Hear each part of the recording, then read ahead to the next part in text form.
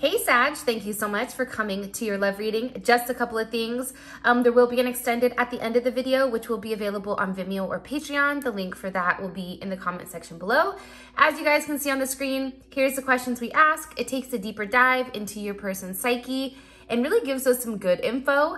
Um, I am also doing personal readings, as you can see on the screen, a few different options, and you can book on my website, aaftarot.com. Um, the link for the cards or where you guys can get the cards, that's also going to be in the description below. Or you can simply go on Etsy and search for Neon Awakening and they should pop right up. Alrighty then, let's get into it, Sag. How does Sag view their current romantic situation? What is Sag's view of their current romantic situation? Okay, Seven of Cups, interesting. So there may be like a level of confusion or illusion around what's going on. And I think that you may be in a place where you're really trying to take a step back and understand why everything is happening the way that it's happening. Um, how does how does Sag view their person of interest in their relationship? How do they view their person of interest role in their relationship? Okay, it's the Hierophant reverse. Taurus energy, um, and what about, how does their person of interest feel about Sag romantically? Okay, you have the Four Wands. Aries energy, Taurus energy, Scorpio energy. Um, and what is a blocker obstacle for these two romantically? A blocker obstacle for Sag and this person. Okay, strength, ego, loyalty, um, communication. Sometimes I feel like with the strength card, there's a lack of communication because everything is internalized. Um, and what, what, what is the um, unforeseen event in the near future for Sag and this person? Gonna be, okay, the moon. Interesting. All right, guys, let's just go ahead and get right into it. So, um, first things first, let's make this straight so everybody can see it. All right, hopefully that looks good. Yay.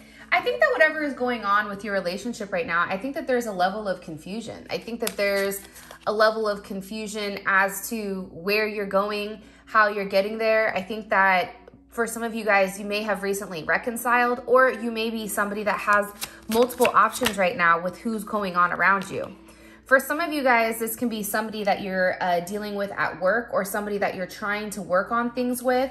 Um, it definitely can be a Capricorn, or it also can be uh, usage where you're going back and forth between one or two people trying to make a decision here with what's best for you, trying to make a decision with what direction you want to go when it does come to this person. Because I do feel like there is some type of forward movement because something is changing. But at the same point in time, I feel like you and this person are getting on the same page. But I feel like with that Seven of Cups that's leading it, as much as you're getting on the same page, there's still a sense of confusion with where you're going. I think that you and this person want to have like a serious conversation, but it's like after you have this conversation, now what do you do? Where do you go? How do you get there? Um, and again, the Wheel of Fortune, things are changing, but this may be also you changing. This may be also you kind of stepping into the driver's seat, right? And you driving whatever is going on here, especially when it does come to your partner, you and your partner, right? It's very interesting to me because I do feel like for some of you guys, you're moving on from somebody from the past. I think that there's a couple of different options, like I said, where you have to make a choice who you're going to decide, who you're going to move forward with. But I do feel like there is one person here that you do move forward with. Okay, possibly a Gemini or even a water sign. Pisces energy. Leo energy, Gemini energy, Libra energy. That's what's coming in. But I think that things are changing. And and and I also think that too with that 7 of 7 of cups, like there is a sense of a, an illusion, right? What is this partnership? What is this relationship and how do we move forward?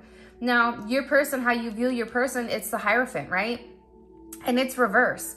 I feel like you're dealing with somebody who does not like um, commitment. I think that you're dealing with somebody that goes about things in a very unorthodox manner, that they're not somebody that wants necessarily um, a traditional relationship, right? Five of Swords here. There's that Aquarius energy, and that's Venus and Aquarius. how your person does things, I think, it they do what works best for them, right? So I also feel like with your person, because there's somebody that is so against tradition and tradition in the, in the sense of, you know, a traditional relationship, I feel like they do things to try to regain or continue to have control over you, right? At the same point in time, it's like they're sabotaging themselves, right? Eight of Pentacles. Um, for me, the Eight of Pentacles, that can either be a card where they want to work on things, but also it's like working on themselves. Like I feel like this person is very focused on themselves and where they're going and how they're getting there versus like anybody else. Justice and the Queen of Cups. For some of you guys, you may be dealing with somebody that's going through some type of legal battle or some type of court issue possibly. This can be a marriage. This can be a, a, couple of different things. Or this person is really, really working on kind of creating a sense of balance inside of themselves. But it's weird because even though justice is here with the Queen of Cups, I feel like there's times where this person shows you that they can be very loving, very caring, very nurturing, but at the same point in time, you also have that Five of Swords there. So I think that this person toggles back and forth between, you know, who they want or, you know, these emotions and then this also non-emotional energy. It just seems very unbalanced to me. Because how does Sag feel about their role that they play? The role that this person plays?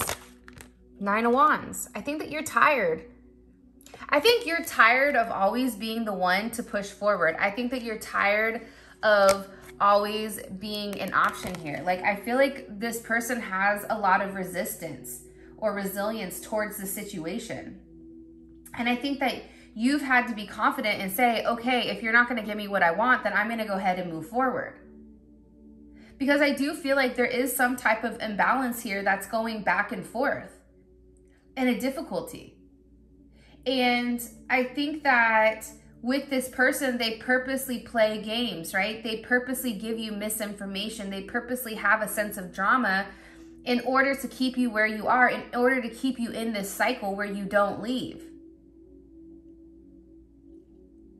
I don't know why, but it's like you really tapping into your core self and saying like, yeah, I don't believe that, you know, enough is enough. Because I think you're tired of all the setbacks. I think you're tired of this person stopping something from from progressing the way that it naturally needs to. And I think you're just tired of the conflict in the games. How this person feels about you, it's the Four of Wands with the Knight of Wands. I think that there's a lot of passion and a lot of chemistry here. I think that you and this person, you have Sag energy, you have Scorpio energy, Aries energy. I think that this person and you really do connect. I think that you connect on a different level, Sag, but I feel like when it does come to this person, there is a sense of immaturity here. They also may feel like you want to live in the past, like you want to go back to a time where maybe this person isn't comfortable going because I do feel like this person is definitely in their head about you and about exactly what you want from them, right? They, they know it's a moment of, are we going to reconcile or are we not? Are you going to shit? Are you going to get off the pot? Which one is it, right? And I feel like with this person, because they fight this connection so much, I feel like that's what's kept you waiting. But at the same point in time, they're fighting for this, you know, they create these little tiny petty arguments or these battles or whatever because it's like they want to keep you where it is. Even though the Four of Wands is here, Knight of Wands, Six of Cups, it's like you and this person have this strong emotional connection, but at the same point in time, I feel like this person is in their head about exactly what they want. How do I move forward with Sag? And I feel like that's why there's always this weight because I don't feel like this person has made a decision. I feel like there's more than one person involved here. I feel like, Sag, you're dealing with somebody who's hella immature. And that's crazy to say because I feel like the mutable signs, right? Like Sag, Gemini, um, Pisces, well, Sag and Gemini in particular, I feel like they tend to be like the most kind of like um, light and fluffy and like whatever, you know? More, more of a youthful type of energy where I feel like with your person, the fact that they're coming in with an energy that's much younger than yours, I think that that says something. So whether that's them being physically younger or whether that's just them mentally or emotionally being younger, I definitely feel like this. Because I think that you're tired of trying to put, like, make something work that doesn't work. You know what I mean? Like, I think that for you, it's like, okay, that this, this isn't, there's something here that isn't happening. It's just not working.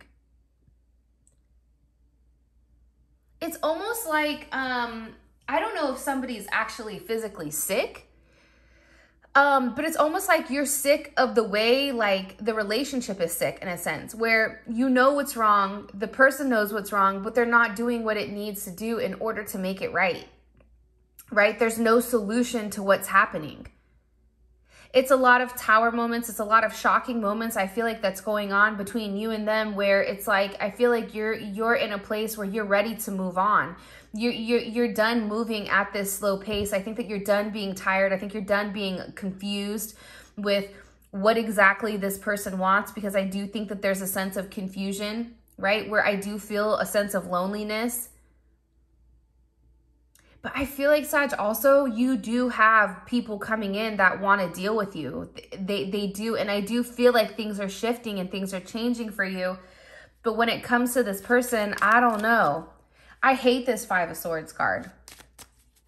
That Five of Swords with the Eight of Pentacles, it's like this person is doing whatever they need to do in order to get what they want. Yeah, right as I said that, the Page of Cup, Page of Swords popped out. There's also something here where it's like this person wants to have their cake and eat it too. Um, okay, as far as a uh, block is concerned, strength is here. So loyalty may be an issue. Partnership may be an issue. Commitment may be an issue. This person changing may be an issue. Ace of Swords reverse. Somebody may be lying and not being honest and not being truthful about the direction that they want to go with you, right? Whether or not this is just a very physical relationship or if it's something more because I feel like with your person, like one more time, what is blocking? the world, the king of cups, ace of swords. It could be a Leo that's blocking or, or, or it can be you, Sag, that's, that's blocking this. But I think it's a lack of communication. I think that it's a lack of clarity. I think it's a lack of information. I think that you don't know where things are going. It's very foggy. Like there's not been something that's set in stone with this is where we're going. This is the direction we're going in. I feel like it's a lack of communication because it's a lot of passion, right? the fact that you have the Ace of Swords reverse, but then you have the Eight of Wands and the Ace of Wands upright, it's like there's this physical connection between the two of you that's undeniable. But at the same point in time, with that physical, lustful, passionate connection, I think that things tend to get stuck, right? And I think for some of you, there's some type of competition, stuck in a level of competition with somebody else. I feel like too with you, this person, they're always worried about what's what's best. Like, is the grass greener on the other side? Like, is there other options? Like, what? And that may be you too. But I just think that whoever you're dealing with, this person needs to make a decision. And I feel like when it comes to this person, they want to win. Period. And I feel like there's a level of gossip. Like, I don't know why, but I feel like there's some people that are talking about your relationship or talking about your situation or your person talks about it to people. What do you want me to tell Sag here? One more card here for the block. Ten of Swords. Something needs to end that hasn't. And again, I'm going to say this, the Two of Swords, Page of Swords, I feel like there's somebody in your person's ear, right? I feel like there's something here where somebody's trying to talk about what to do, where to go, how to get there, that type of jazz. And I feel like there's a level of indecision with, with what needs to happen, but I think it's because of a, um, lack of maturity. What's coming in here with um, this unforeseen event? Unforeseen event for Sag. Okay, you have the Lovers, Death, the Two of Cups. Wow, this is heavy energy. And the Three of Wands. Interesting. And how would Sag feel about this? And how would this make Sag feel?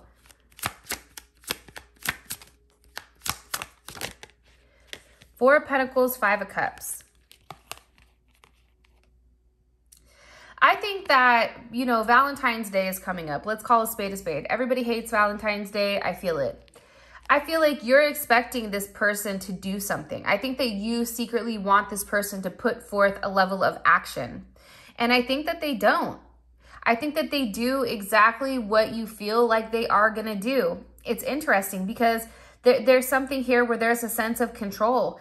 And I feel like you, you're upset. Like you're upset. There's, there's some sense of um, sadness here because I feel like you're waiting for this person to step forward. I think you're waiting for this person to do something.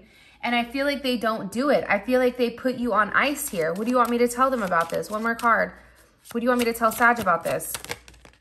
Seven of Swords. I don't know if this person stands you up. I don't know if they make plans with you, then they don't show up or they're late. Like there's something here where you're upset because you feel like they didn't do the right thing, where you feel like they did something that they weren't supposed to do or that or that you feel like they're playing you. There's something here about them lying or them doing something late at night. It's like not enough time.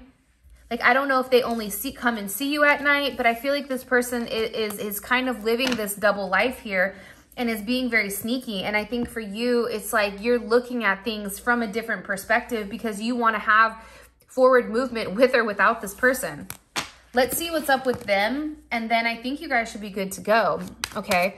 What is Sag? What, what is their person um, of interest? How do they view their current romantic situation with Sag?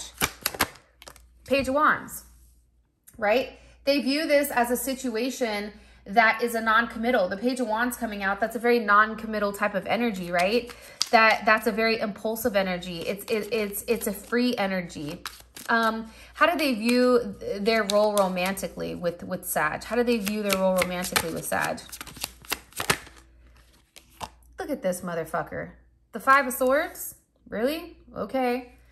Um, again, they feel like they're playing a game. And whoever you're dealing with, the way that they go about things, it's very unorthodox.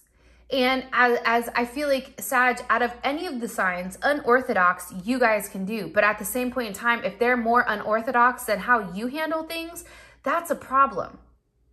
Like, I feel like you're dealing with somebody that's cool with like polygamy or things like that. Like, they're okay having multiple partners, or they're like, this is an energy where they're not really comfortable settling down just as of yet. Um, what are they hiding from Sag? Or what, what do they feel like is a block between them and Sag? What does this person feel like is a block between them and Sagittarius? What do they feel their block is? What do they feel like it is? The Hermit? Possibly a Virgo?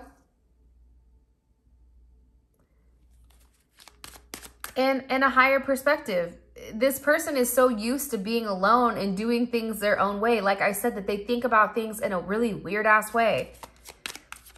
Um, Cross watchers, you're to have to flip it. And if you haven't already, please make sure you like um, the video and subscribe to my channel.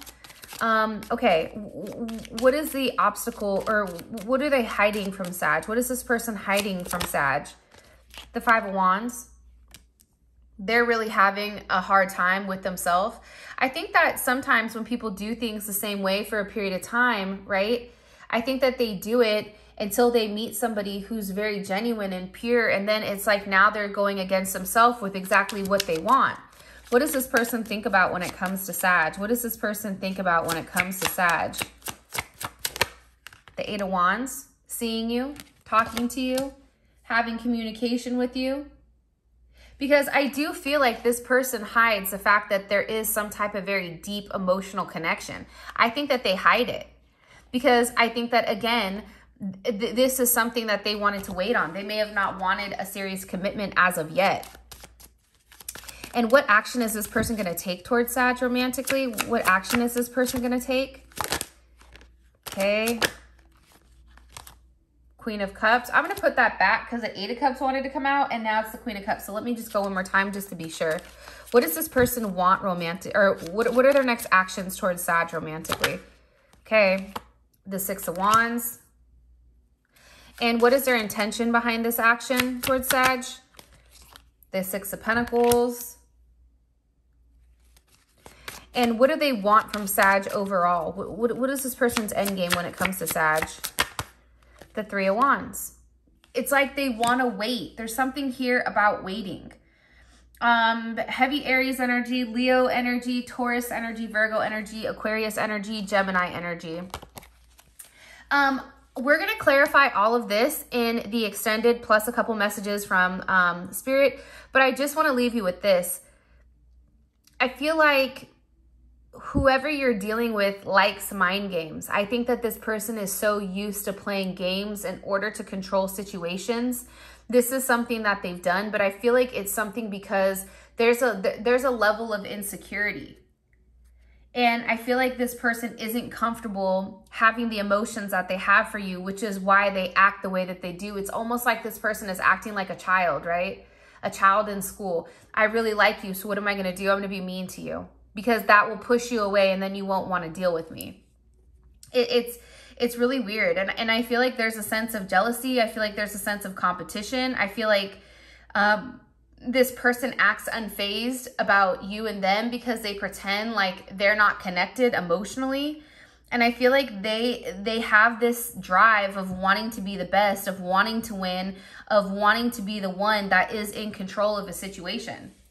So with that being said, if you want to know what's going on with your person and how they're processing, please feel free to click on the link in the comment section below. It will take you straight to Vimeo or Patreon where you guys can purchase the um, extended. And with that being said, I love you guys so much. Thank you for all of your love and support. And until next time, Sag, peace out, Girl Scout.